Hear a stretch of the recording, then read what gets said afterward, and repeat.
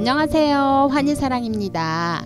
엑사콤 꽃인데요. 엑사콤 꽃이 꽃이 핀 다음에 그 가운데에 하얀색 그 봉우리 같은 게 달려 있죠.